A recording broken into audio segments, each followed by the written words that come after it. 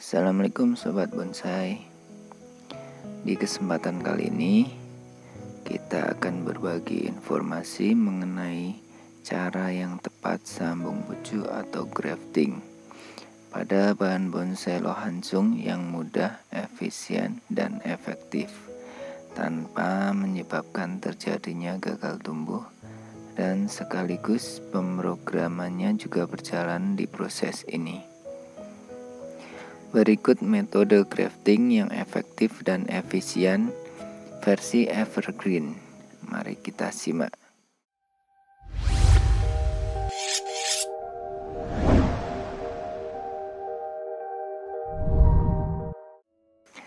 Seperti yang sudah kita ketahui, lohansung mempunyai banyak sekali jenisnya. Tentunya dengan berbagai macam kelebihan dari tiap jenisnya. Ada jenis lohansung yang berdaun kecil atau mikro. Ada yang warna daunnya menarik, ada yang mempunyai batang berkarakter tua, dan ada juga yang mempunyai kelebihan pertumbuhan yang lebih cepat dari jenis lohansung lainnya. Untuk menggabungkan kelebihan-kelebihan tersebut, maka kita lakukan sambung pucuk atau grafting agar bahan bonsai lohansung kita jadi lebih berkualitas dari segala aspeknya. Yang pertama adalah kita pilih tunas yang akan kita gunakan untuk sambungannya. Tentunya ada kriteria yang harus kita pilih seperti yang mau kita ambil ini adalah lohansung dari jenis blue eyes dengan kelebihan warna daun yang menarik dan pertumbuhan cenderung lebih cepat. Sebaiknya untuk pemilihan bahan sambungan jangan memilih tunas yang masih muda. Nah, itu ditandakan dengan warna yang masih terang kita pakai tunas yang sudah tua. Ditandai dengan warna yang agak gelap dan sudah ada calon tunas baru. Untuk memancing tunas yang nantinya akan disambung. Jika kita memaksakan memakai tunas yang muda akan terjadi kegagalan saat belum terjadi pertumbuhan. Karena tunas yang masih muda akan cepat kering setelah tunas kita pilih, kita kurangi sepertiga daun dari bawah.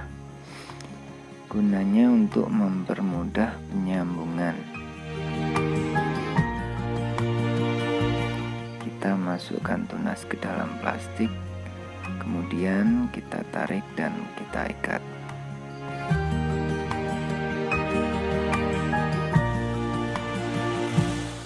Pastikan tunas yang kita masukkan tadi tidak terbalik ya.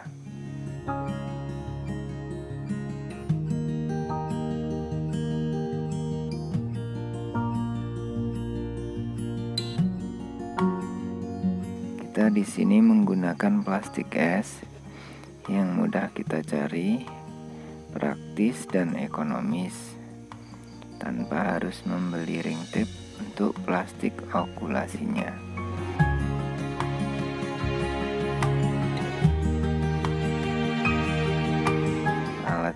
Kita gunakan hanya memakai cutter dan korek. Hasilnya nanti akan jauh lebih kencang lebih praktis dan lebih rapi. Tentunya akan lebih cepat juga. Untuk jenis lohansung ini kita tidak boleh memotong habis batang atau cabang yang akan kita sambung karena akan terjadi pemberhentian tumbuh yang sangat lama sekali. Kita boleh memotongnya ketika sambungannya sudah mewakili dari calon cabang-cabangnya.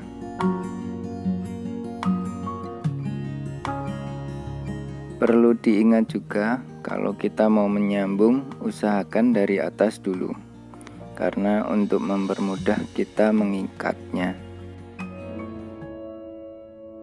Kita sayat. Kemudian kita keluarkan tunasnya seperti ini. Kita buat sayatan.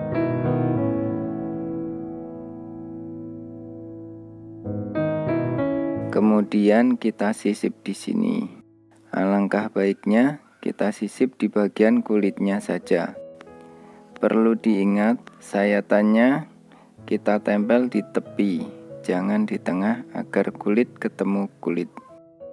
Kita ikat di sayatannya dulu, kemudian kalau sudah rapat, baru di plastik sungkupnya agar lebih rapat.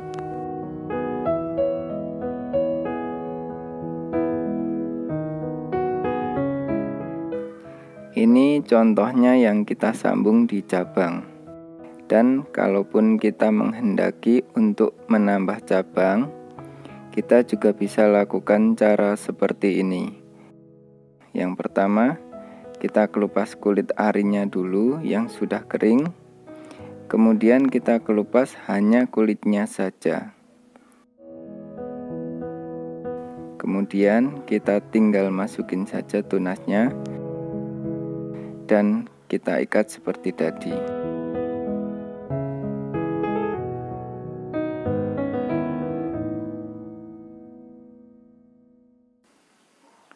Setelah kita selesai proses penyambungan, kemudian kita kasih paranet agar mengurangi dari panasnya matahari langsung. Ini sambungan yang sudah jadi. Cara melepasnya seperti ini.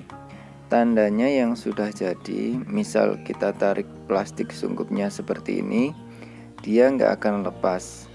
Atau yang lebih aman, Sambungannya kita tahan menggunakan jari, kemudian kita tarik plastiknya. Ini contoh sambungan yang berumur 4 bulan. Jadi ini buka sungkupnya baru berumur 2 bulan.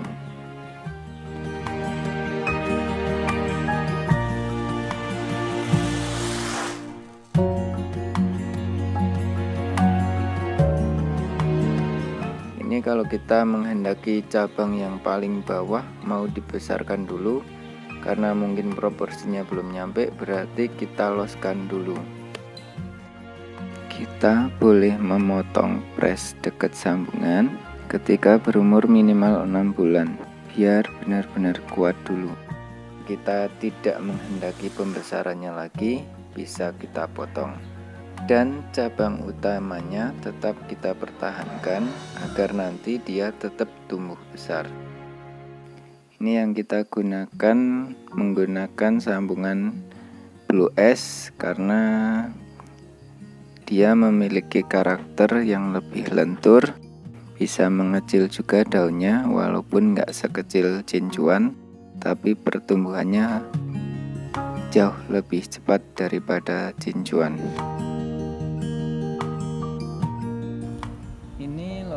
Langsung yang berumur satu tahun dari sambungan. Ini jenisnya blue eyes dia punya kelebihan lebih lentur daunnya lebih bagus berwarna agak silver kebiruan. Ketika sambungan udah sehat dan udah benar-benar udah jadi satu seperti satu tubuh baru aslinya batang yang ke atas tadi bisa kita potong.